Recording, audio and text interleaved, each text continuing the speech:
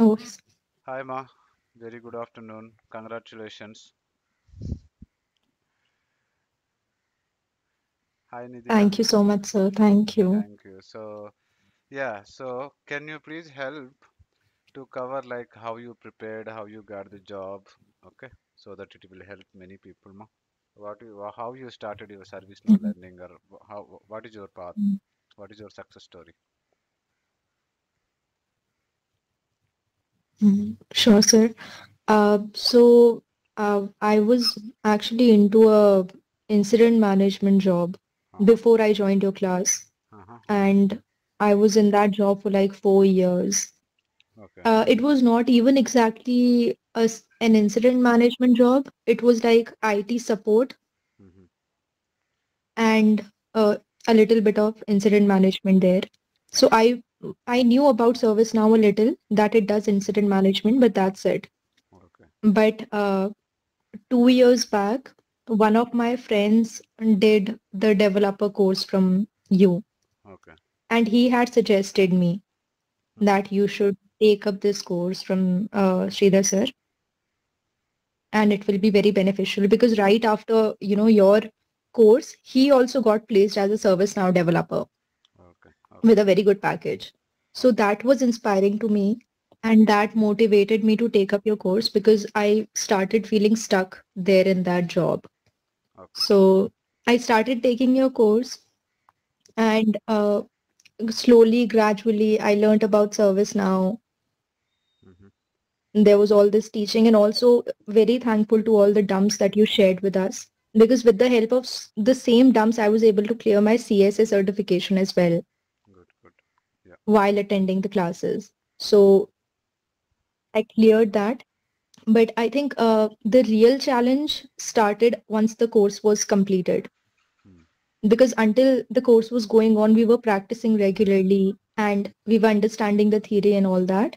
Mm. But once the course uh, finished, then I had to practice on my own.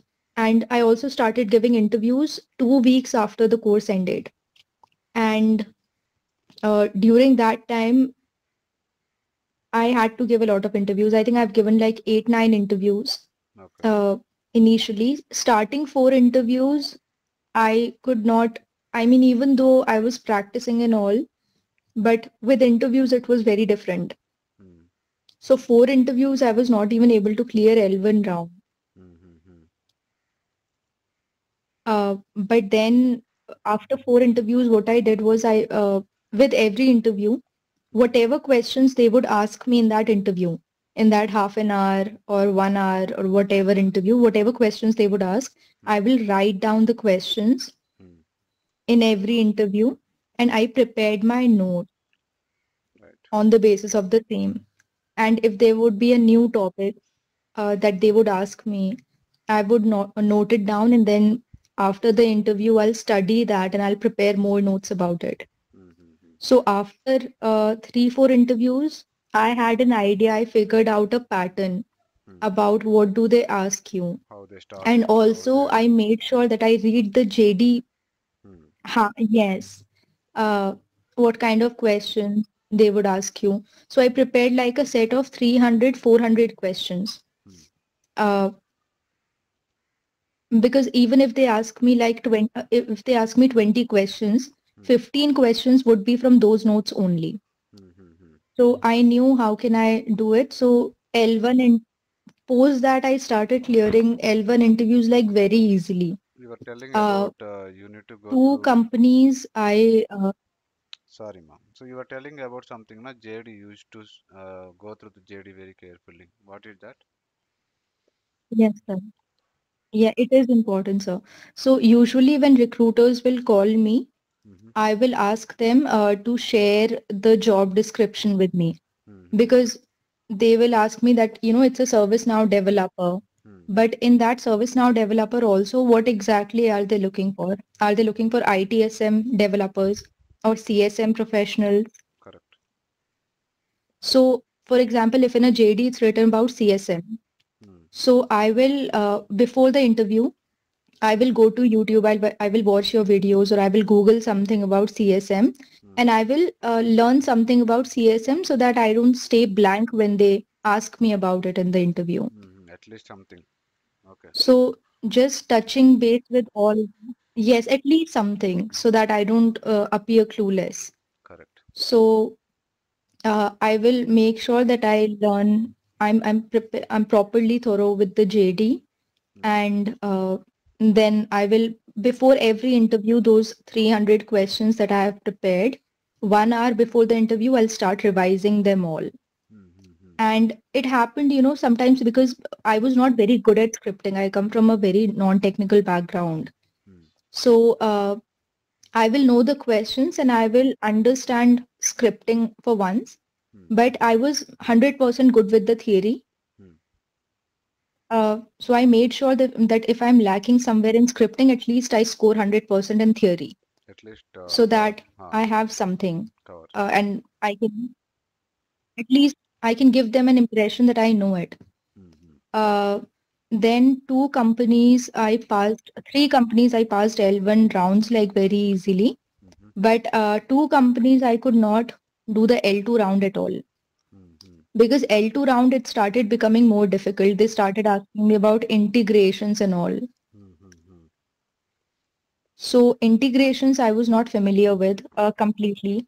So, uh, but then once I knew that okay, they can ask about integrations as well, I picked up that topic and I learned about like the REST, SOAP, and also e-bonding, Hmm, hmm, uh, which is ServiceNow to ServiceNow integration using REST. Hmm. So I learned about these things, which I picked up from the interview itself. So I was not looking at my failure as a failure. I was more looking at uh, at it like an opportunity Hmm, hmm, that I can get a one more topic from it maybe hmm, that I can learn today and then be more stronger and appear for the next interview uh, in a better way. hmm. So uh, that happened and then I then I finally got an offer uh, from a company and they gave me like 100% hike on my current salary uh, as a ServiceNow developer. Okay. Uh, it got the uh, offer got closed mm, one month back Hmm, but then I told my current organization that I have got an offer and I'm uh, thinking of moving.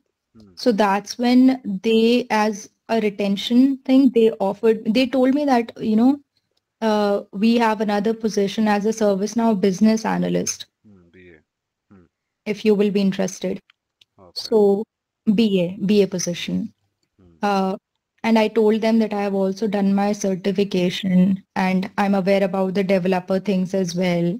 hmm. Uh, so that's when they took my interviews again in my company also, even though it was an internal job, Hmm, hmm, but I had to give like two rounds. hmm, And then they offered me the service ServiceNow BA position as well. hmm. Good. So it's been great, sir. I mean, I think one year back, uh, six, seven months back, I had no idea where my career was going Hmm. or what was I going to learn, which way should I go. Correct. But with this course and, you know, when I met everybody, how you explained it, it gave me a direction in my career. Correct. And with that goal, with that purpose, I started learning.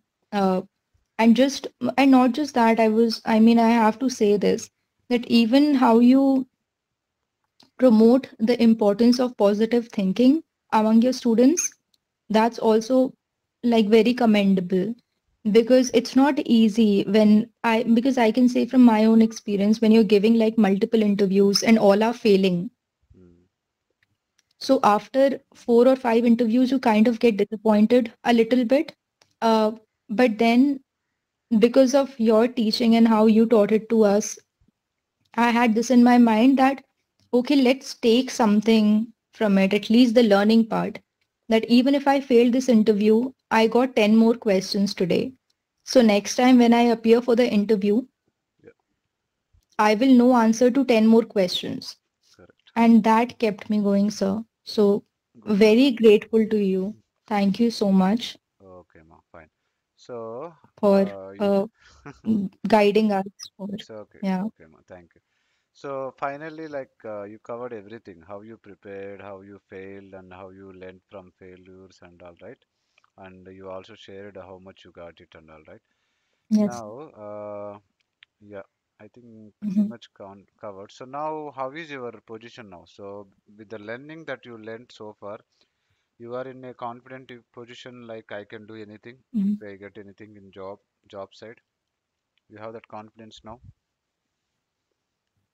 Uh, yes, sir. I can say that I'm pretty much confident. Of course, way more confident that I was six months or three months back when I started giving interviews, or even before when I started learning the course. Hmm. But at the same time, I think it's very important that even though you have secured a job and even if you think that you know a lot of things now, it's important to keep practicing, Keep on upgrading it. even though you're confident about it, to keep that confidence.